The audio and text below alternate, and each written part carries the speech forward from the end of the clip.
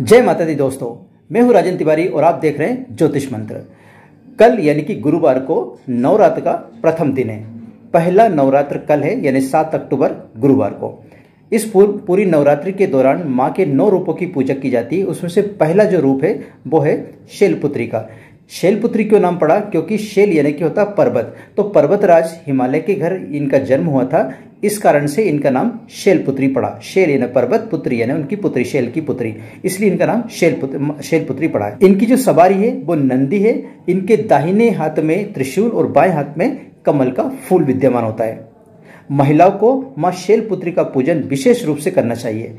क्योंकि दाम्पत्य जीवन में मधुरता बनी रहती है और घर के जो कष्ट होते हैं, कलेश होते हैं, वो इससे नहीं होते अगर सभी महिलाएँ माँ शैलपुत्री की पूजा आराधना करती है तो।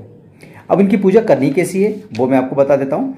माँ शैलपुत्री को सफ़ेद वस्तु बहुत प्रिय है, इसलिए इन्हें सफ़ेद फूल और सफ़ेद वस्त्र अर्पण करना चाहिए और साथ ही सफ़ेद बर्फ़ी का भोग लगाना चाहिए। ऐसा करने से कुंवारी कन्याओं को मनपसंद वर मिलता है। साथ ही नकारात्मक शक्तियों का नाश करने के लिए पान के पत्ते पर लौंग, सुपारी, मिश्री रखकर माँ शैलपुत्री को अर्पित करना चाहिए। अब मैं आज आपको एक विशेष उपाय बता रहा हूँ, जो पहले दिन के लिए उपाय है। यानी कि जो फ़र्स्ट डे है, उसी के उसी दिन आपको ये उपाय करना है। उपाय क्या है कि एक साबुत पान लेना है। उस पान के पत्ते पर 27 फूलदार लौंग रखना यानी लौंग जिसमें ऊपर वो लगा रहता है ना पूरी पूरी पूरी लौंग लेना है। कितनी लेना है? सत्ताईस लौंग लेना है।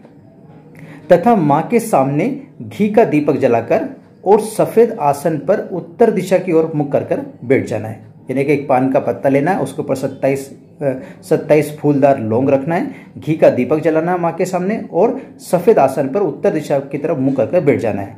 और एक मंत्र है, ओम शैल पुत्राय नमः। इस मंत्र का 108 बार जाप करना है। वो सारी चीज़ सामने रखी रहेगी और आप वहाँ पे जाप करोगे।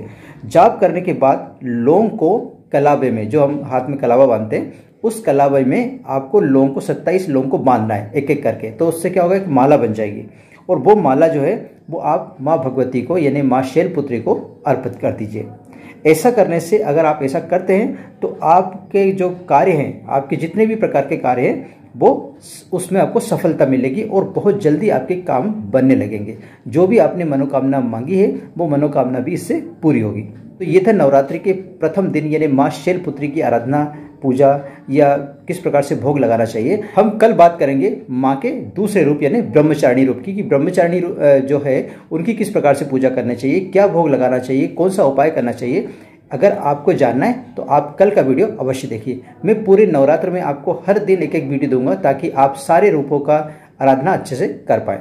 आशा करता हूँ कि आपको ये वीडियो पसंद आया होगा। अगर ये वीडियो अच्छा लगा तो प्लीज़ इसे लाइक कीजिए, शेयर कीजिए, और मेरे चैनल ज्योतिष मंत्र को सब्सक्राइब कीजिए। आज के लिए वैसे इतना ही। मिलते नए विषय के साथ। तब तक आप रहिए खुश, और मुझे दी जाएगा जय हिंद।